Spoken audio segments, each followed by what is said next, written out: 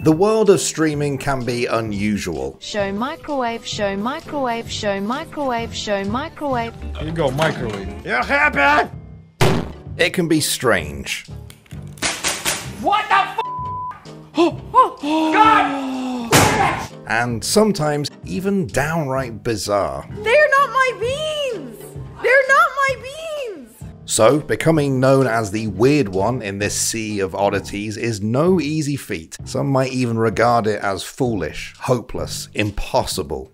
But a 47 year old Scottish comedian by the name of Brian Limmy Limond might just be Twitch's king of the unconventional. Come here. Rosie, come here. Come here.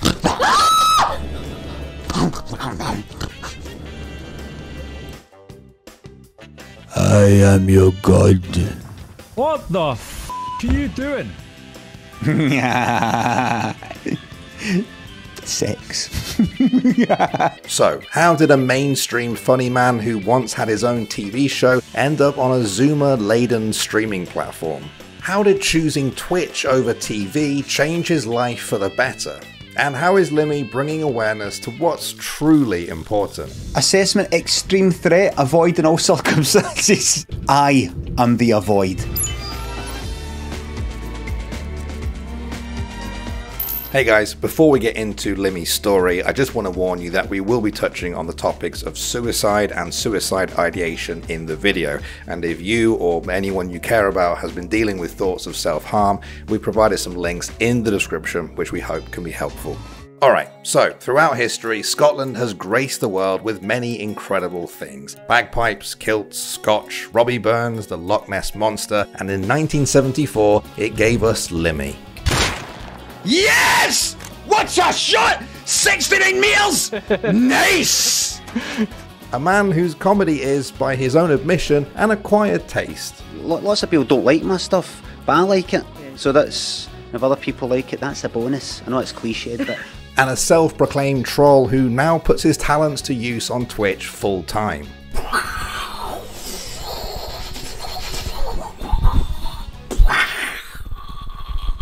But beneath his surface level hijinks, he's a loving father. You don't want to spend time with me. You're saying you want to spend time with me, you don't want to spend time with me.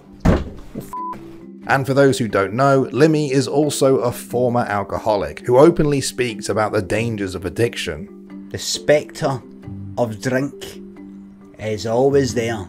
Do you ever, do you ever truly beat it?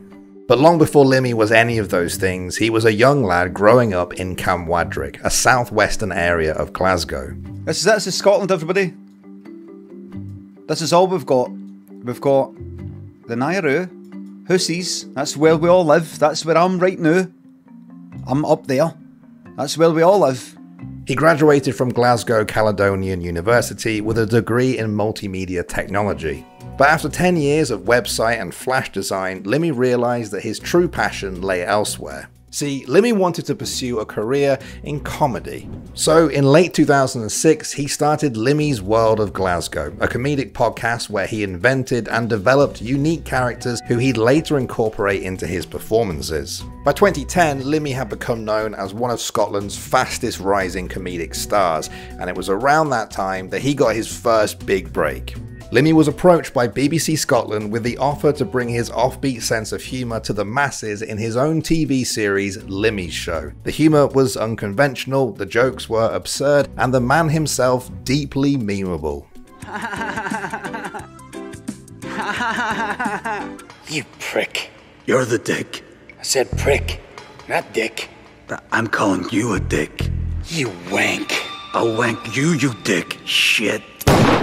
Got a question for you. What's heavier, a kilogram of steel or a kilogram of feathers? That's right, it's a kilogram of steel because steel is heavier than feathers. but steel's heavier than feathers. I know, but they're both a kilogram. What? But despite being a certified cult classic, after three seasons, the BBC decided not to renew Limmy's show. In the wake of his series running its course, Limmy made YouTube skits and cameos in popular TV series, wrote a few books, and continued to do stand up. Try and wrap your head around something so small. Can you it? Well, see that size? That's your dad's cock. But there was something else Limmy had begun to dabble in alongside his professional endeavours. Slowly but surely, he was getting sucked deeper into the void that is social media.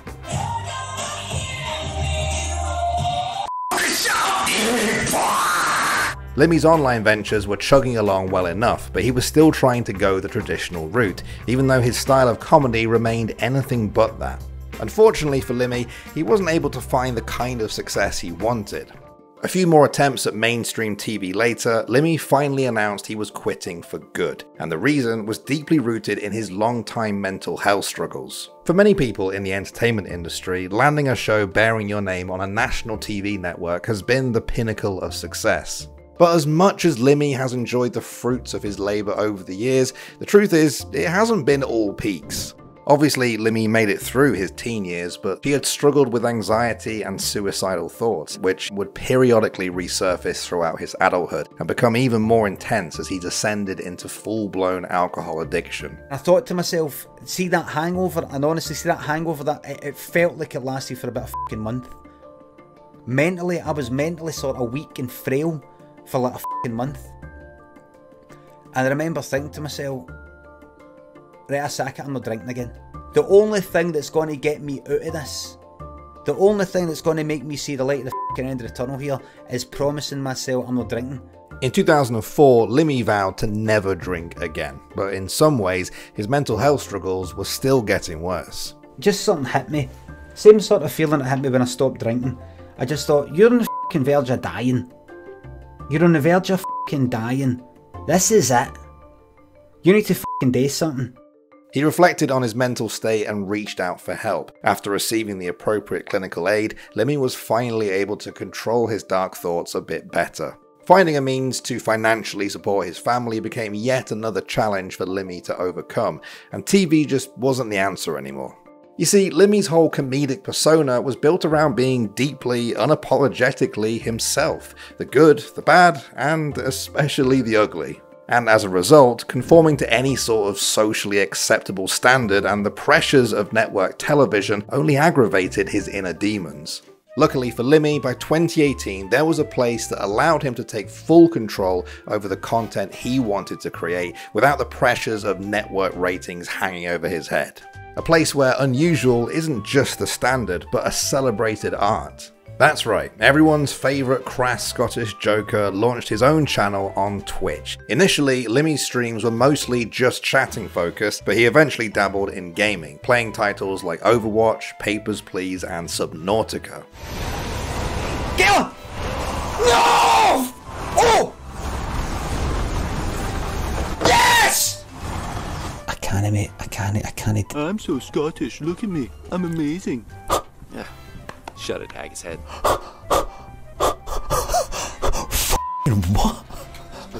At this point, Twitch was still just a part-time experiment for Limmy, but by the time 2020 rolled around, that started to change. Faced with the possibility of having to churn out more mainstream friendly content, which he absolutely hated the thought of, Limmy decided to go all in on Amazon's Purple platform. There's some Scottish people that kind of say purple burglar alarm, purple burglar alarm, purple burglar alarm, purple burglar alarm, purple burglar alarm. What's this? Pepe, what the f also known as Limmy Pepe. What? I will tongue your hole. okay then. Somebody got caught out in the rain, everybody. Okay.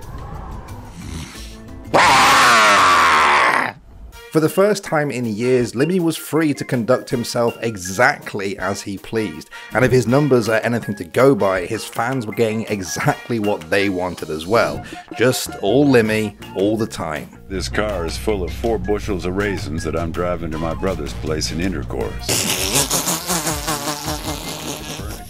Rise from your grave. Rise, so that I may kill you once again. Get out here, you f***ing rock Ooh, ah. Now, if you think Limmy just took whatever audience he already had and brought them over to Twitch, you're probably partially right. But there was a whole swath of his fans who couldn't even point Scotland out on a map, didn't know what sort of programs BBC Scotland ran, and obviously had no idea who Limmy was either. I'm the steel is heavier than feathers guy. I have two BAFTAs. How can he not know who I'm? What's that? What's that? Of course, when you're going live for hours at a time and you're building a loyal audience, your community is bound to develop some inside jokes as a result of your behaviour. And we obviously couldn't make a video about Limmy without touching on his now iconic blams, a phenomena that can't really be explained, it just has to be experienced. I think they're gonna wanna see blam. Blam. But I think it first became almost like a kind of character. There's no point in making anything up. Look at that jawline, that's right. Look at I was thinner So I would and younger looking. could hit subscribe. Yeah. But as much as Limmy has enjoyed blamming with his viewers over the years, he's not really the sort of guy who can keep a low profile. Scan! Scan! And at some point, some of the bigger names in streaming began to take notice of Limmy's antics, which only bolstered his popularity further. Got nae clocks in my country. This is exactly like train spotting. Ha- Hassan, here, HasanAbi. I can't remember your full name. Alright, that's right, I've got a funny accent. Get over it. If this has been the worst year of your life, that means next year will be even uh, will be better. If it gets worse, then congratulations, this hasn't been the worst year of your life. In a span of a few years, playing over 300 different games, Limmy has been able to amass an audience of over 400,000 followers. He went from being a comedian with his own show on a national network to being arguably Twitch's unofficial king of weird. There's no reason for me to do any of the, like the telly stuff. What about producing for new talent? Oh, for f***'s sake, Brev! Why the f*** would I want to do that? And sure, Twitch might not have solved all of Limmy's problems and possibly introduced him to some new ones he might never have encountered anywhere else, but it did give him a place to express himself on his terms.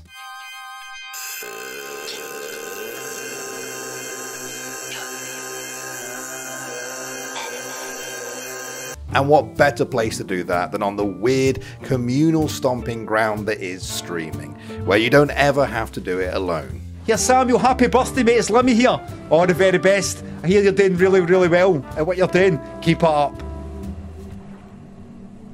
At the end of the day, everyone's got a story to tell.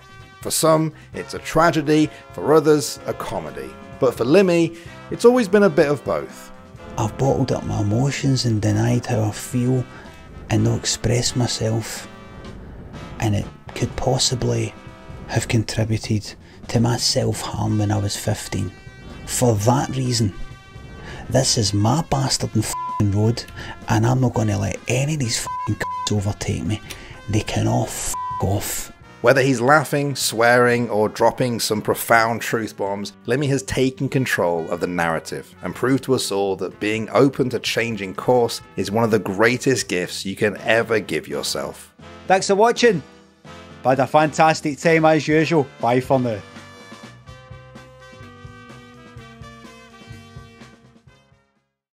Me see this one. Oh, I love that one. he does one, oh god, he's got one where he mocks like American sports. The New York Jethawks with the fourth base in the second quarter of the fifth inning. I'm so intrigued by these sound ups, it's mad. This sound up is so funny. There's no, have seen this one? Purple burglar.